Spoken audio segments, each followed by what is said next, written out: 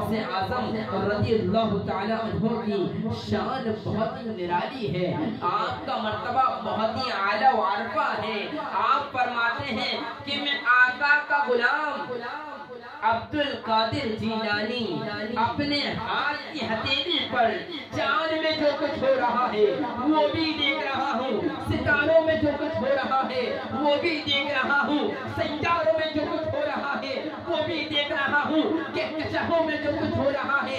वो भी देख रहा हूँ। तुम मेरे हलिम को नहीं समझ सकते।